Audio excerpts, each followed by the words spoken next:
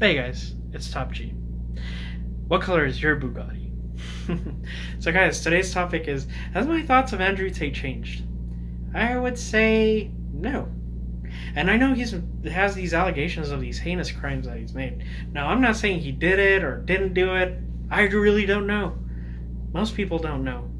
Now, could he be lying? Yes. Could other people be lying that he made those allegations? Yes. We truly don't know. So, but I am going to say, does that change all the things that he said? I mean, sure, it makes him less credible with all these allegations, but regular, regular exercise, um, treating women with respect, and I know that a lot of people say, oh, no, he doesn't.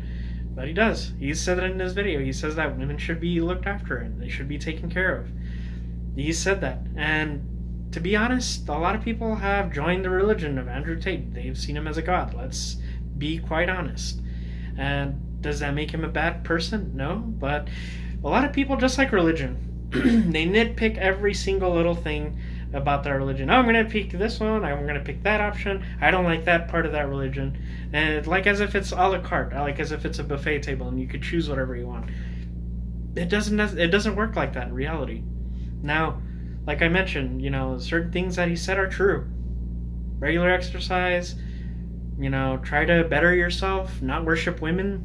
Those things are all true. You shouldn't be doing those things. I mean, you should be applying those things. I completely agree with them. Now, now keep in mind, should you be some millionaire to, and if you don't have a supercar, you don't have a Lamborghini like this joker called Sebastian something, where he says you should have a serious talk with yourself if you don't have a Lamborghini in your twenties.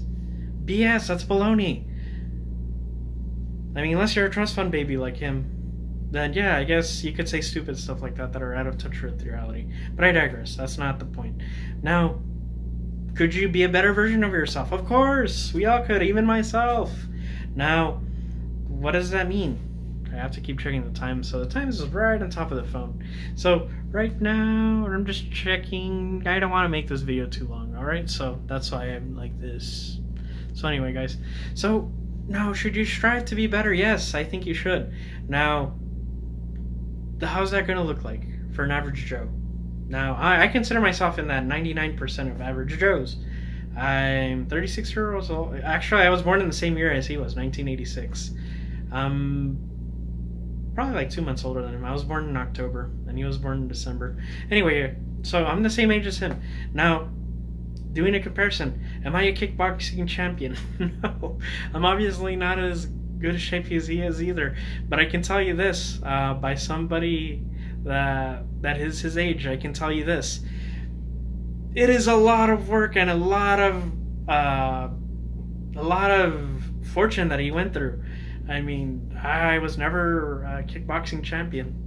I would not hustle the way he does, that he said he does. I just don't put that same amount of work that he does in that hustle, and that's how he became a millionaire. He's I've even seen some of his videos from Hustlers University.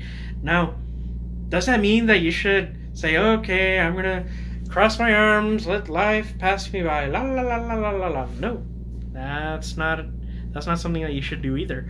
Um, you know, better yourself. Try to get a better paying job. I mean, not necessarily kill yourself because working 100 hours is not something, like I mentioned in my last video, it's not something you should strive for. It's going to kill yourself. Now, could you better your living situation if you live in a bad neighborhood, uh, in a bad house? You, yeah, of course, you could strive to make your living situation better. You know, especially with family to relationships. Now, if you have a, if you have no car, can you fix that? Yes, you can. And you know, here in the United States, you could easily get a car. Uh, maybe you could get a cool car. Now, is it going to be a Bugatti? No. Is it going to be a Lamborghini? No. Now, but what's wrong with driving a, you know, regular car? You know, maybe whatever car it is that you like. Everyone's different. Um, could you live, get out of the, move out of the ghetto into a more safer, more decent place? Yes, you can do those things. Now, could you strive to make money and be in a good financial state? Yes. Could you exercise and have a physique? You know, maybe not as close as he uh, he does. Maybe not everybody's genetically gonna be muscular or something. But does that mean you should stop doing regular exercise? Of course not. So these nitpickings and and saying, just making sure the time, saying, "Oh, well, I can't achieve what he does. Might as well throw in the towel." No. The fact that he's he said things to better people, I think that's what you should keep in mind. You know, choose. Of course, you know you're not gonna be some guy that's gonna say, "I have the right to cheat on on my spouse because I'm a high value male and I make a lot of money." No, that's wrong. I that's where I definitely disagree with him. You know, you shouldn't be you shouldn't be unfaithful. Doesn't matter if you're this high value male and you make millions and you can take care of people. That's impractical. It's not okay either.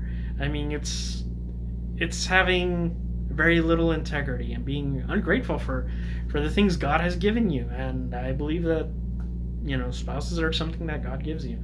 And so I'll just go and keep it there, guys. I could go into a lot of details, but I just want to go ahead and just mention that. And